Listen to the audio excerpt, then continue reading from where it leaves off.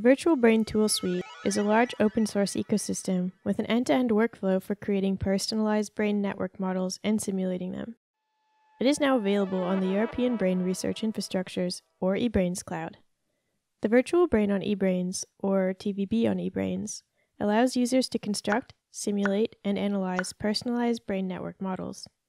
Its powerful features can be used from your local computer making computationally expensive neurological research possible from the comfort of your web browser.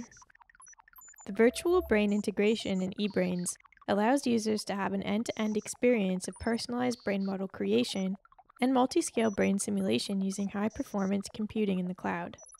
This makes it possible to process large cohort databases, which in turn makes it possible to produce generalized results. This is a precondition for being able to use these results to develop potential medical treatments, therapies, or diagnostic procedures. The Virtual Brain on eBrains ecosystem software is open source. The software is distributed in the form of execution-ready Docker containers that can be pulled from Docker Hub. The containers can be executed on supercomputers using secure container environments like Sarus or Shifter, Jupyter Notebooks enable users to operate the containers on supercomputers directly from their web browser.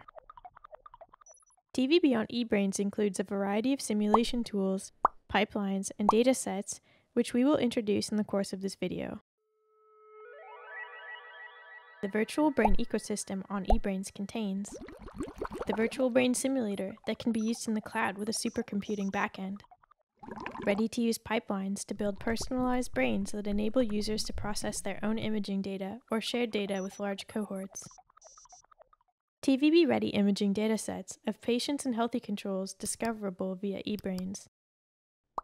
The TVB Multiscale co-simulation web application, which enables co-simulating some brain regions at a finer scale using the NEST simulator. Fast and parallelizable hardware-near implementations of TVB models containerized for direct use on eBrains via Collab notebooks. The INCF training space, with a dedicated area for the virtual brain, where a rich multitude of didactic use cases are available with video tutorials, Jupyter notebooks, and example datasets.